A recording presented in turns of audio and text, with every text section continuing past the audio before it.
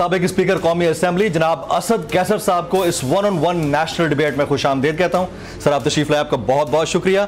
पंजाब की हद तक दो अदद विक्ट्रीज क्या आपको लगता है कि हम कॉन्स्टिट्यूशनल क्राइसिस से निकल चुके हैं पंजाब की हद तक? हाँ बिल्कुल।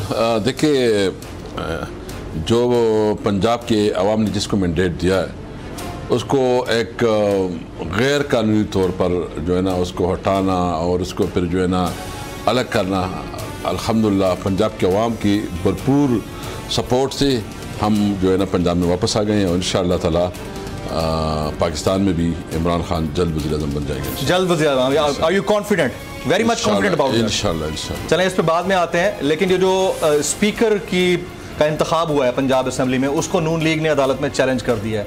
तो ये अदलिया में जाकर चैलेंज करने वाला जो है ना अब तो ट्रेंड बन गया है पाकिस्तान में। नहीं आप, इसमें आप इसको डिफेंड करेंगे जाके? मुझे समझ नहीं आ रही है कि कैसे चैलेंज होगा। यानी लीगल प्रोसीजर जो है ना वो पूरी मीडिया पे दिखाया जा रहा था। कोई प्रोसेस में कोई लिकुना नहीं है।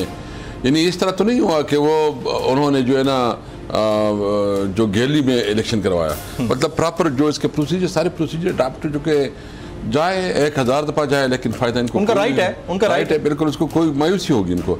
देखिए अभी इसको तस्लीम करना चाहिए। हम्म। यानी सबसे पहले बात तो ये है हम्म। कि पाकिस्तान के अवाम ने और पंजाब के अवाम ने मैंडेट पीटीआई को दिया था। हम्म, यानी सबसे ज़्यादा सीटें हमने जीती थी।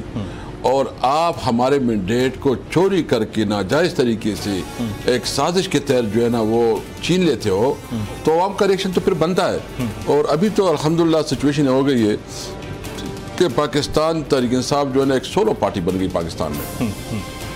पूरी सूबे में नुमाइंदगी है। मतलब जहाँ भी आप इसमें पाकिस्तान तहरीक इंसाफ वाद जुमात है जिसमें सिंधी बलोची पख्तून पंजाबी महाजर मतलब जितनी कौमियत है वो सारे इस पार्टी में है।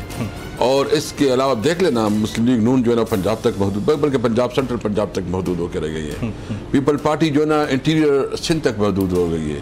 एम क्यू एम तो आ, कराची में बिल्कुल ही ऑलमोस्ट वेनिस्ड और इस तरह दीगर एन पी जो है ना वो भी एक दो डिस्ट्रिक्ट तक और वो दो डिस्ट्रिक्ट में भी अभी कोई नुमाइंदगी एमएलएन की बात करें ना वो किधर की जमात है? वो अभी सिर्फ़ जो है ना लाहौर की जमात थी लेकिन अभी लाहौर की जमात भी नहीं वहाँ से फारे हो गए। वहाँ से फारे और उनको अभी जो ये डर रहे हैं हम्म। क्योंकि आपको पता है कि जो इनका लीडर है नवाज़ शरीफ उसका तो ख्याल है कि हमें नहीं लेना चाहिए थी हुकूमत। हम्म। इन्होंने जो उसको समझाया जिस तरह इसके साथ बात की हम्म। अभी तो डर रहे हैं इलेक्शन से। यानी हम ये नहीं कहते हम कहते हैं कि आए आवाम के पास जाएँ आवाम ने जिसको मैंडेट दिया जिसको आवाम जो है ना समझती है कि वो जो है ना हुकूमत करे उनका आवाम का हक है क्योंकि क्राइसिस बहुत बढ़ गई है। और जिस तरह जिस हाल में है जो डॉलर की जितना उड़ान हो रही है जितना रुपये ढाई को टच कर रहा है ये डॉलर तो। और ये पाकिस्तान की तारीख का सबसे महँगा तरीन डॉलर है। और इस इकोनॉमिक क्राइसिस है इससे सेटल नहीं हो रही है। इकोनॉमिक क्राइसिस है कॉन्स्टिट्यूशनल क्राइसिस है ओवरऑल पूरा पाकिस्तान आवाम के पास जाए जाए आवाम ही वायद है कि वो फैसला करे। सब्सक्राइब करें और बेल दबाएँ ताकि कोई खबर रह न जाए।